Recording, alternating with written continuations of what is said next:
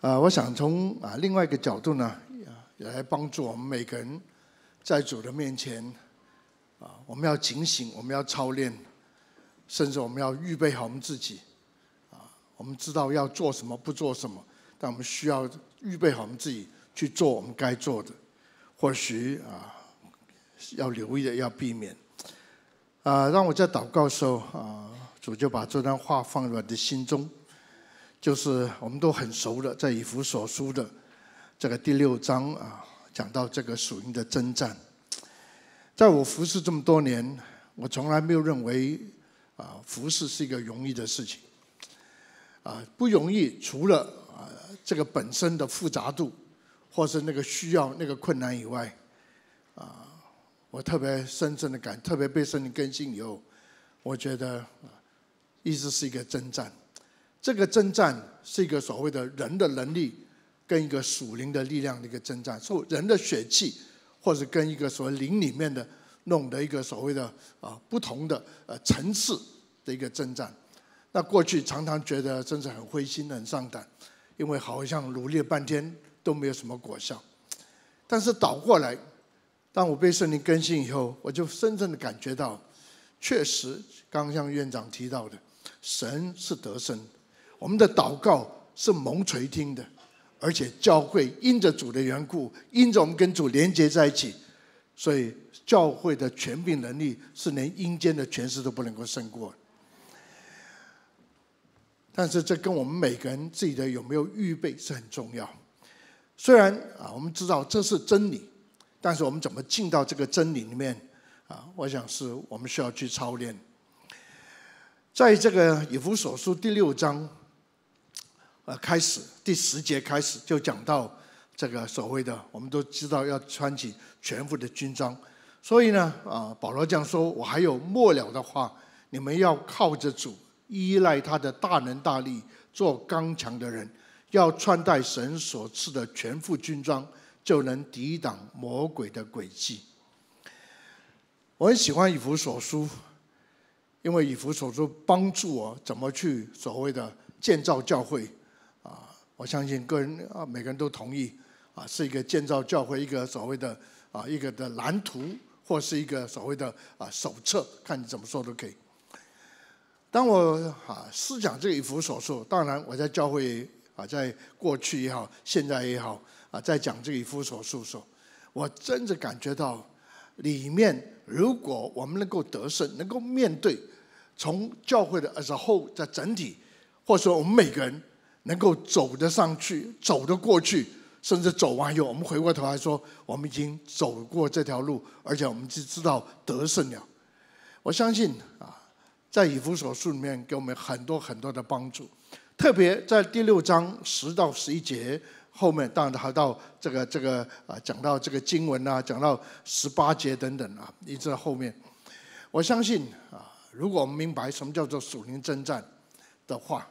你就知道一件事情：一方面，征战是我们不可避免；第二个，因为征战缘故，我们才知道什么叫得胜。如果我们不知道征战，啊，我们怎么知道我们得胜？如果我们没有经过考试，我们怎么知道我们学的东西没有？如果没有经过一个所谓的啊所谓的竞赛，我们能够怎么知道我们的摆上的努力是否啊能够啊是否真是有果效？保罗这边讲到说，我还有那个末了的话，解释有两个，一个确实到以弗所这第六章的最后一章。不过在解经里面还有一个很重要的意思，说保罗说我还有一些的话不能不讲，这叫末了的话，所以不能不说。原来讲了这么多以后，只是 prepare 带领教会进到一个的状况，叫做征战。我们都知道啊，就刚刚院长提到了，确实你大概天天看新闻。啊，这个字都会跑出来，叫做“茫茫然”的“茫”。当然，很多个字稍微慌啊，这个很忙呢。这个人很忙，叫心死的，这个叫忙。那忙了半天，有没有什么的盼望？有没有什么结果？就很慌了。不，最后通把拢在一起，就说干脆我们就给他一个字，叫做“茫茫然”好。大家对明年啊或者二零一八，在我的所了解的里面，从新闻看。没有一个是很乐观的，坦白说，悲观的很多。经济，啊，特别讲到如果啊，对于这个经济以这个做股票来做个代表的话，啊，明年是二零一八，所以每个逢八就一定是垮的时候。几年都这样，你去问问这些经济学家。一九九八，然后什么那，到一二零一八，这是明。讲到这个所谓的啊，这个气候，刚刚院长提了，现在已经这个这个气候的变热，所以这个所谓的北极啊什么，不是一点冰一点冰掉下来，是整块冰掉，一掉好像一个美国哪一个州这么大。所以马就说到，以后可能不要住在海边了，因为应该淹水会淹得很快，因为那个水都涨。还有很多情形，啊，今天我在看一个新闻，说这个气候冷到你要知道，那个加拿大那个南瓜尔夫那个就是那个瀑布都已经结冰了。他说鲨鱼已经活不了，因为鲨鱼都快要冻死。这这今天新闻说，那当然是我们现在最面对的，天天看新闻就是我们这个空气的污染，啊，怎么过日子？我们前不久还在笑，如果你从大陆来台湾的时候，回去以后要带一瓶空新鲜的空气，叫伴手礼啊。现在我们自己连这种空气都找不到，这蛮麻烦。当然还有整个教育，确实是今天也是看报纸，说哪一个是几年次的，是最些是七呢，还是八是九？所以一算呢，从六到九，日子都不好过。因为不知道学什么，倒过来学完以后也不知道干什么。我讲这些给我们带来一个非常所谓真正蛮悲观的，或者蛮负面的，对于所谓的前途。但从圣经的角度，我真相信一件事情：第一个，在这种困难当中，神会保守我们。你读这个旧约，读到新约，终然有很多事情发生，但属于神的百姓。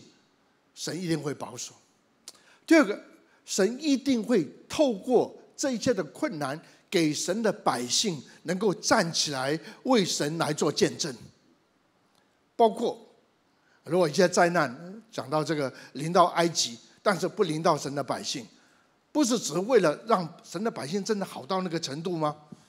还是很多软弱。但是借这个机会，让这次我外邦看见有神的人。确实是有这位神做保护，意思说证明这位神是爱我们的神，是有能力的神，是又真又活的神。但不管怎么样，是一个机会，是一个机会，能够在这样的困难当中为主来做见证，是没有错了。就是我们看这个新闻，看这个所谓的分析前途，呃，特别明明年二零一八，其实真的没有好，看不出有什么好在哪里。那当然是。前一阵子啊，在教会圈子里面讲到啊，又有这个长老预言说啊，什么事情发生？所以呢，很可能啊，这个征征战就战争就要发生，甚至有些的牧者在我们一起谈聊的时候，就说你们教会有没有预备好征战来到怎么办？我相信这些东西、这些事情，我们都要留意。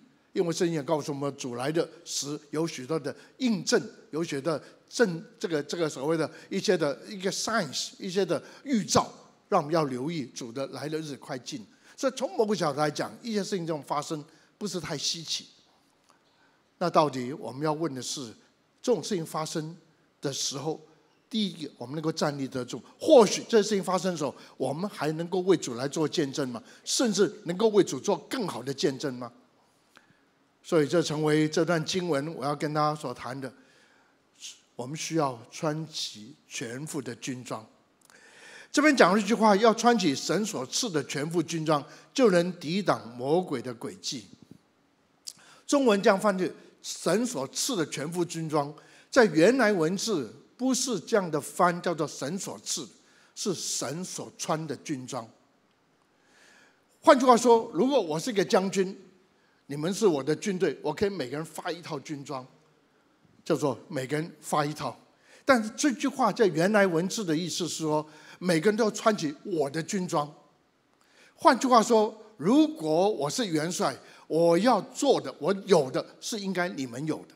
换句话说，神答应我们，给我们一套军装，是能够胜过仇敌，因为这套军装 exactly 是他所穿。他不只是说多一套或多几套做给我们穿穿，这就他穿的，因为他需要我们穿他军装，是能够面对仇敌，而且能够胜过仇敌的。这些军装是什么？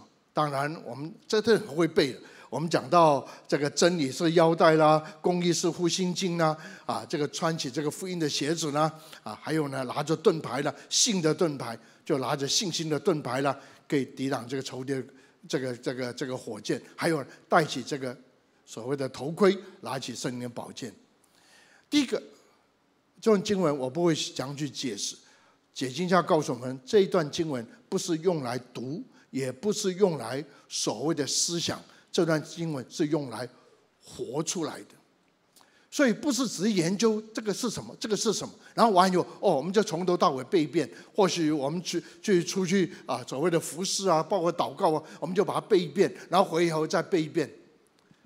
No No，解经要告诉我们，这是用来活出来的。那到底什么是你要活出来？再去把这些刚刚所提的，再去提，你发现跟一件事是绝对分不开的，是跟神的话是分不开的。不论是真理，不论是公义，公义就是真理所分别出来的对与错，那个对。什么叫福音？就是整个的真理的奥秘带出来，叫人可以得救的。什么叫信德？信德就讲到你对于神的真理的回应，那个的所谓的信与不信，抓住还是不抓住？换句话说，在你我的生活里面，有没有活出神的话语来？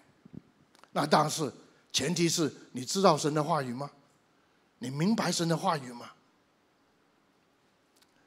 以至于你愿意在生活当中活出神的话语来吗？军装这边所说的很重要的，就是你有神的话在你的里面而且你有活出神的话语来？感谢主，在我们个年代，我觉得有些东西蛮宝贵，在我的操练里面，我们对神的话语很看重。特别当到北美读书的时候，我们进到查经班，因为牧师不太多。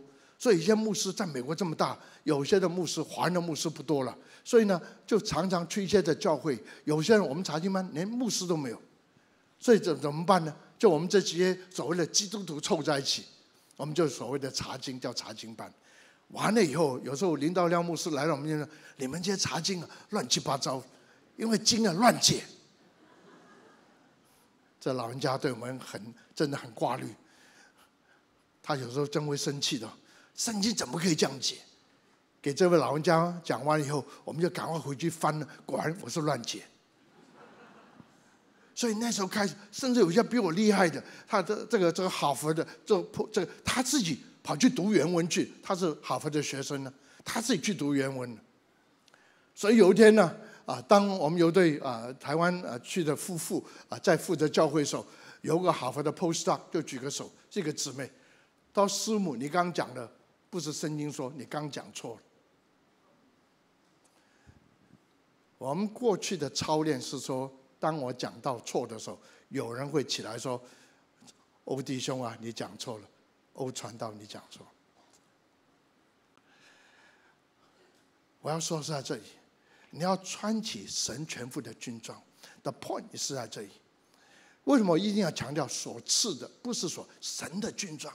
换句话说，你可以读很多的解经书，你可以读很多的培灵的书，但是我还是要强调，我不是叫你，我不是迷信到所谓哪本圣经来才灵，我意思是是说，你亲自要进到神的话语的里面，你亲自要进到神的话语，你不能够像大卫穿这个所谓扫罗王的那个军装，弄不起来的，你需要。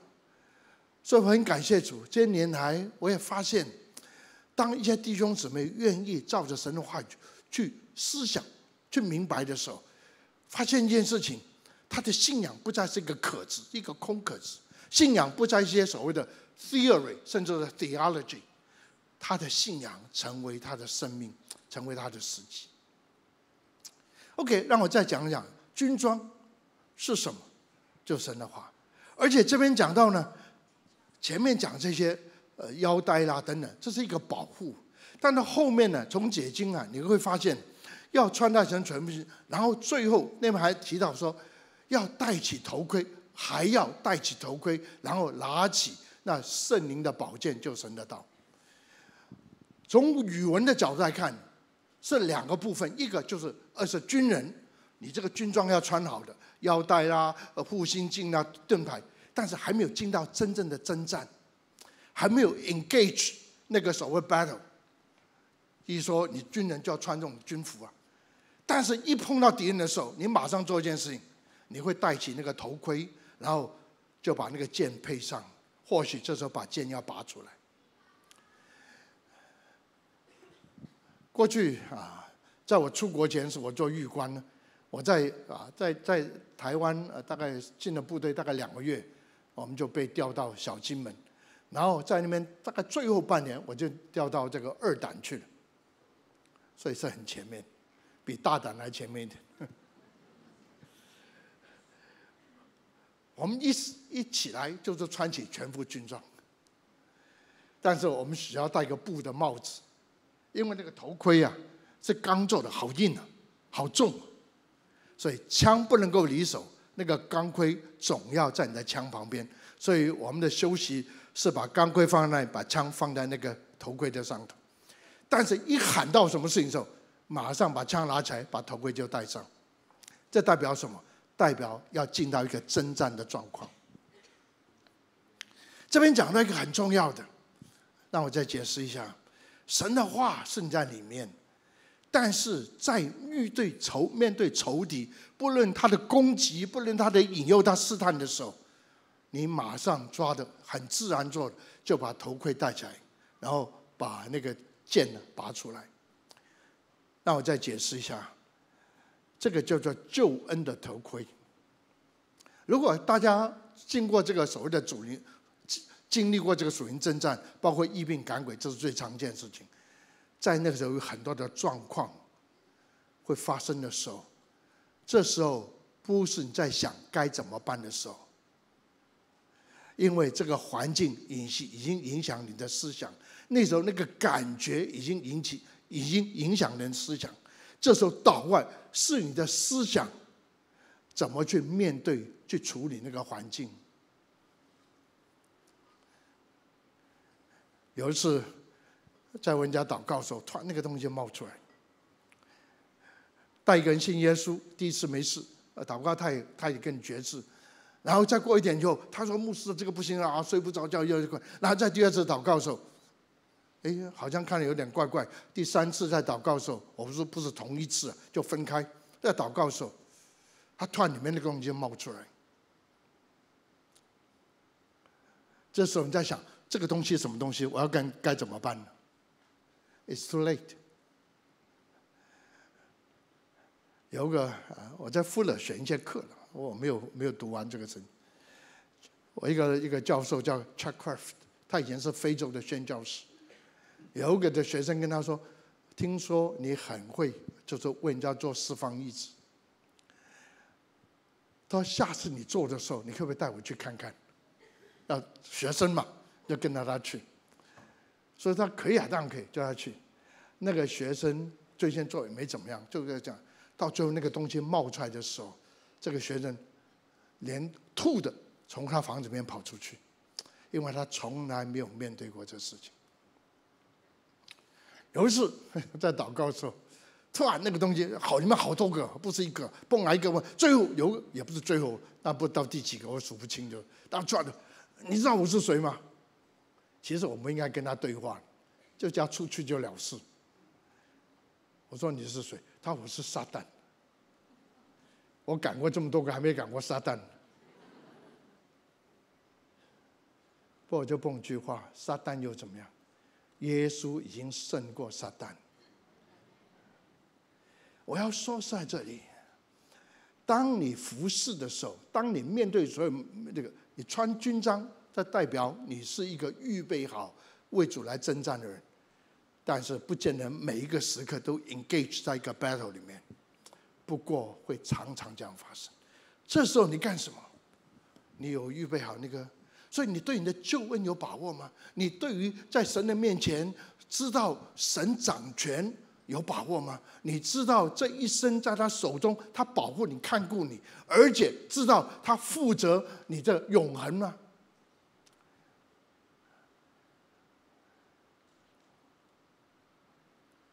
很多时候，我不知道各位同不同意。我们都说我们是一个蒙恩得救人，但你真知道因了信耶稣，你得着些什么吗？哦，耶稣会一直要释放，我百分之百同意。如果神要做这样工作，但除了这以外，你还知道你信耶稣以后有什么吗？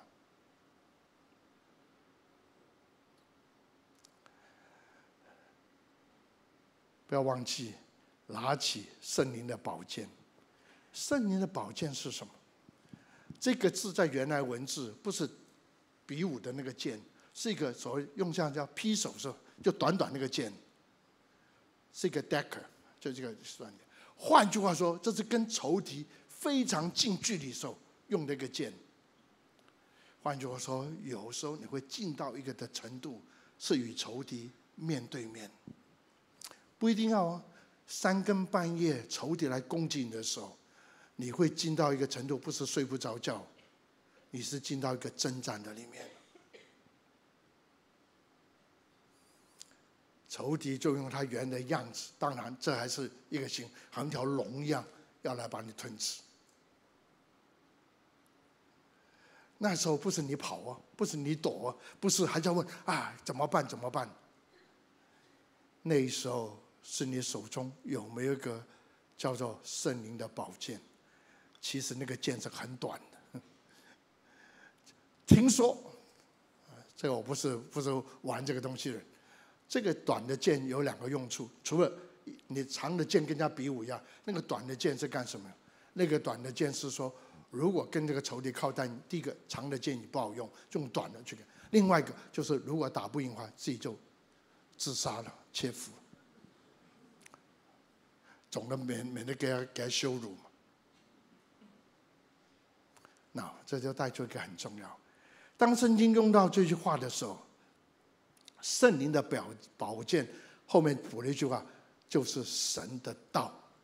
原来文字这个神的道不是 logos，不是 written word，不是写出来，那个道叫什么？叫 rama，叫 speaking word。你不仅知道神的话，你知道怎么的用神的话吗？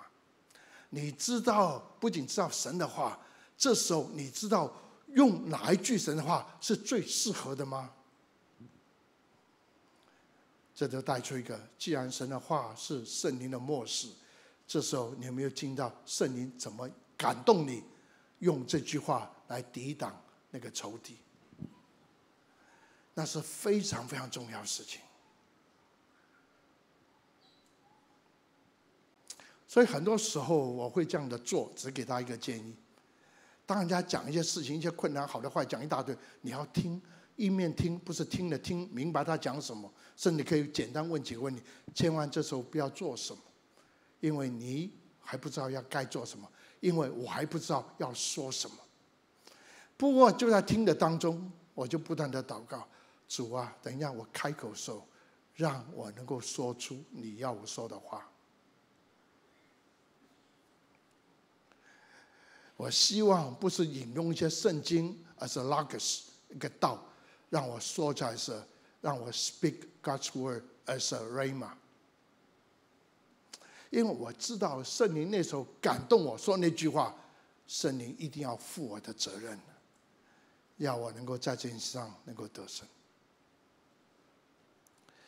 我今不是不是要讲意志释放，我今天要讲是各位，我们能够在神的面前，因着他与我们同在，好叫我们能够走出去，面对这个这么糟糕的环境。不论我认为，如果从从这个属灵的征战角，不论是气象啦、经济啦，不论是等等军事的，后面都有黑暗的权势做控制。所以你读以弗所说，你一定读得出这个东西来。空中执政掌权权，每一根。当我以前还弄这个所谓的啊，属灵征战的时候，我找了一一份呢这个这个资料，是那个呃发给我们在那个 conference 整个世界从沙滩底下，你要知道有多少执政掌权呢？每个人管不一样，比一个更大的军队还整齐。这么多名词里面，没有几个我读得出出来。我要说在这里，这样的征战，如果我们能够站立得住。而且能够得胜的，不在于别的，是因为有神的话在你的里面，而常常让你知道你是谁，是一个军人，所以你就穿起这个来。你是海军就穿海军衣服，陆军就军陆军衣服。但是不只是穿个衣服好看好看，我是一个 Christian，你要面对随时要面对可能会有的征战，有时候这种征战是非常非常激烈。因为这种征战是非常非常与这黑暗权是没有距离的。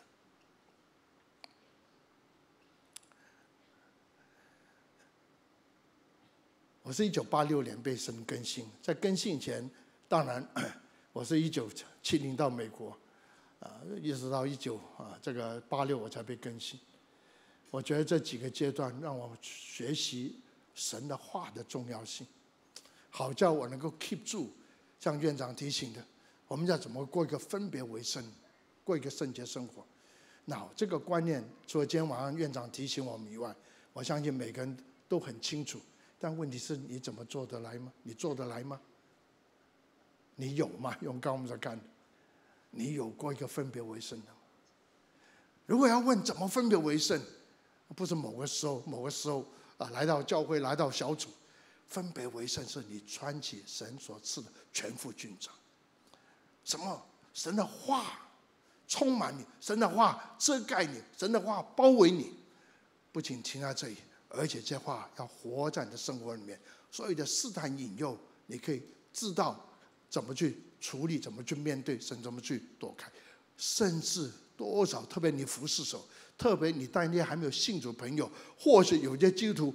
还没有清理好的信，虽然信主这么久，为他祷告时候，你怎么会知道？或者这时候怎么能够有能力跟他面对面来处理这些问题？我想这是非常非常重要。但不要忘记另外一个事情，圣经不是说说嘛，到十八节的时候，靠着圣灵要随时多方的祈求祷，并在此警醒的。我知道我们教会很看重祷告，我也知道各位非常看重祷告。其实，在这个事情上，我有很多的学习。我找了不少祷告的书来看，Charles Finney 的这个 Angel Murray 啊，等等一大堆。但是有一样事情，直到我被圣灵更新以后，我才知道什么叫做靠着圣灵多方祷告。基本上这句话的意思，不是靠着圣灵，是在圣灵里面。跟那个 in Christ 跟在基督里是同一个的语文的用法，in Christ or in the Holy Spirit。什么叫做 in Christ？什么叫做在圣灵？意思是说，你跟主耶稣认同，in，你跟主耶稣连接，叫做 in Christ，在基督。你跟圣灵认同的连接，这个叫 in the Holy Spirit。再讲的具体一点，或者是你祷告，我的祷告不是我带着圣灵跑。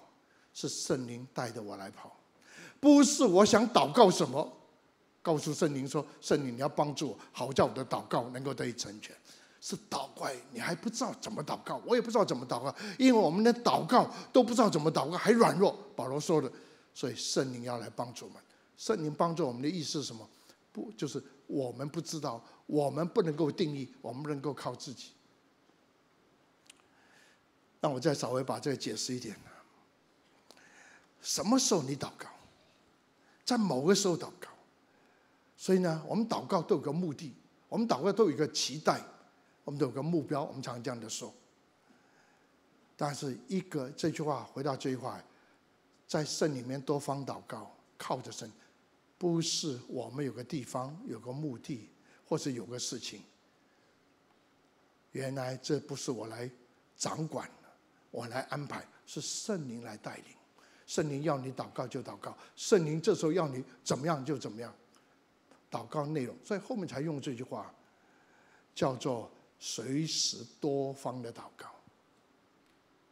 随时多方，不是为某一方面。我不反对，不要误会一事。这样的话，呃，我们讲你需要进到一个层一个层次，不仅是为这个事情祷告，到个层次的时候，你真的不知道这个事情，不没有想到这个事情。不，如果圣灵这时候插进来，他要你祷告是另外一个方向，你感觉到他的带领吗？如果他看你是为另外一个事情祷告，圣经说这个事情慢点来。还有另外事情更重要，你要祷告。你愿意把你现在祷告事情放下，是祷告圣灵的带领吗？我希望我这讲的没有太玄，但对我来讲，是圣灵跟进我有一个很清楚。我还在学。我们每个人来神面前，因为我们整个的信仰都是跟我自己有关，甚至呢，为什么要造很多偶像？这偶像也是我的需要，一个 projection。我需要什么，我就造个这样的偶像。原来在我说以在我与神的关系更清楚的时候，我发现不再是以我为中心，一定要以他为中心。小的时候，我跟你说：“妈妈，我肚子饿，我要吃这个吃这个。”不，那是三岁的时候。你十三岁、三十岁，你还是这样吗？会不会祷告问问？妈妈，你要我做什么？这是一个很大的分别。所以很感谢主。当我是知道要需要学习这个时候，几样事情我在学，凡事我都求问神。跟你们也分享过了，买个生菜我就说主啊你喜欢。我也讲过这个事情。当祷告时候，当服侍完，我最喜欢做一件事情就是发呆。发呆什么用？我把脑子全部我的思想都沉淀下来。我要听听神的声音，我要听听主的带领。也因为这个缘故的学习，所以这些年来，外面有很多事情在发生，好的事情发生，我不见得马上就跳进去，我总要问神说：这么好的事情是我要做的吗？这样好的事情是要我带进教会来吗？如果神说 yes，我们就做；如果神说不，我有别的安排，我就让神带领我。做他要我有所安排，这个叫做随着圣灵，或者靠着圣灵，或者 in the Holy Spirit，你 pray，你会祷告，千万不要停在这里哦，要随时要多方，随时 anytime 多方不同的角度不能，并且在此要警醒不倦。当然，一说不断的这样的操练，警醒就很重要。刚刚啊，院长提一下。你相信祷告会有效吗？如果你相信祷告会有事情发生，你会警醒。这句话的意思是说，watch and pray, pray and watch。换句话，你祷告完，你要不张开眼睛看看有没有事情发生。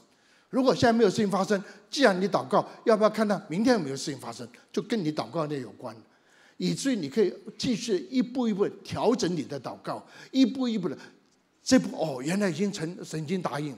不过好像还前面还有路，所以就一步一步往祷告，是一步一步靠近神。哦，让我再解释这个字。今天我们讲究带导，什么叫做带导？什么叫做带导者？带导者或者带导这个字的意思，最简单的说，come closer and have a conversation，靠近一点，让我们能够对话，这个叫做带导，不是一边的。如果我的弟兄在这么远，我说跟他讲一句话，他听不见、听不清楚。这时候我们能够做什么？他靠近一点，走过来一点呢，或者我走过去呢？所以，we come closer，then we have a conversation。祷告永远是一步一步，祷告的结果，用刚刚院长讲，我们就越来越能够见到他的荣美。你这么远，这么我这么远看。如果不靠近的话，你不太容易进一步的看见神的更加的荣美，你可能会停留在那个的环境里面。所以，亲爱的弟兄姊妹，有两样事情，在二零一八我们一定要下功夫的，就是个人。刚刚我非常同意，我们要寻求神的荣美。Then you said how？怎么？你要花功夫在神的话语上。我绝对不反对你看很多属灵书籍，但是倒过来你看这么多属灵书籍，但从来没有花点功夫在神自己的话语上，我认为是非常可惜的事情。你可能穿起别人的军装，但没有穿起神所穿的军装。但不要停在这里，你要知道怎么活出神的话来，你就可以站立得稳。而且需要征战的时候，你怎么知道用神的话？去来赢得这个征战，这需要圣灵工作。这时候就跟祷告连在一起了。到底哪一句话我该讲？神这么多话在的我里面，这时候我要用哪句话？让圣灵来带领，让圣灵来帮助你。有时候他跟你谈谈，你说这样他问题，我就要为这个问题祷告。不然圣灵带领的时候，你会跟那个人说：“等一下再谈的问题。”这时候我想问你另外一个问题，因为圣灵在引领你。让你知道他的问题是在另外方面，不是这个方面。这就是我们的操练了，这就是我们能够更加遇见神了。这个让我们能够更加活出神的心意来。如果这几方面是我们明年一年操练下来，千万不要忘记后面第十八节到第二十节，就是十九跟二十节，也为我祈求。使我得着口才，能以放胆开口讲明这福音的奥秘，就单单十九节。这是我常跟神祷告，尤其在过去的时候在操练。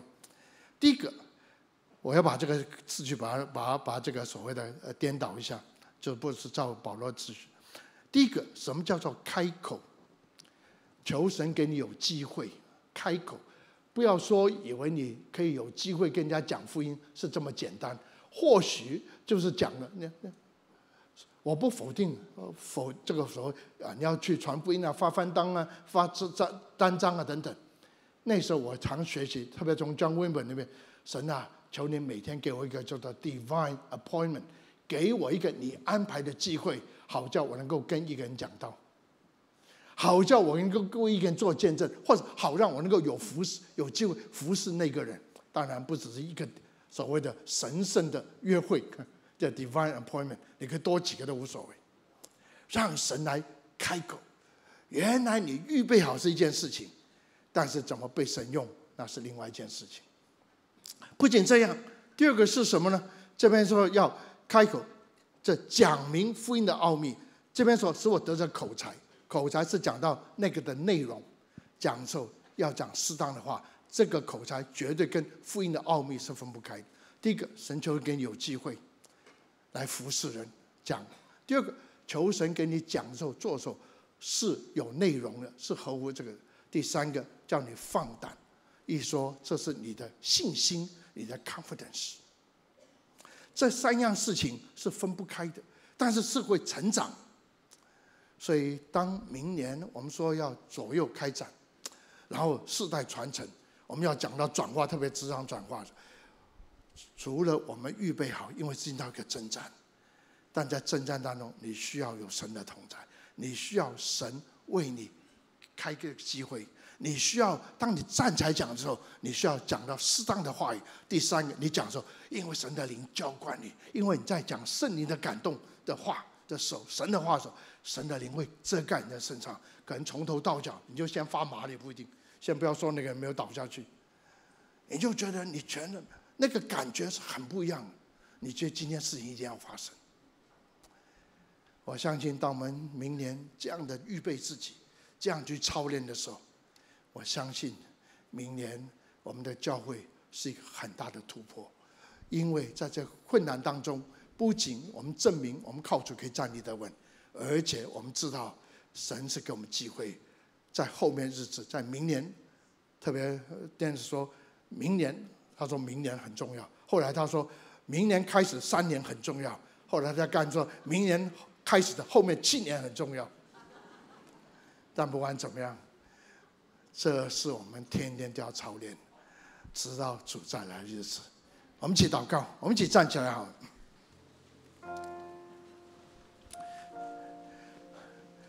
我们跟主说：“主啊，我愿意更多的被你得着，我要穿起你给我的军装，穿起你自己要穿的军装。我特别要在你的话语上，特别在圣灵引领里面，我要更加的敏锐，更加的成熟，更加的丰富，让我们在任何环境都能够站立得稳，靠着你给我的能力，成为一个刚强的人。这是第一个祷告。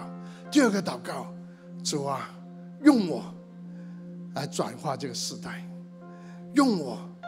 能够改变这个时代，用我能够成为下一代的祝福，给我有机会来见证你、服侍你，给我在做见证服侍，给我知道我要讲什么。当我这样的做，你要我做，讲你要我讲的时候，你的灵再一次大大的浇灌下来，让我能够放胆的来讲你要我所讲的，做你要所做的。让我们一起开口同声来祷告。哦，主啊，主啊，献上我的感谢和赞美。愿神灵大教官在当中，主啊，带领我们。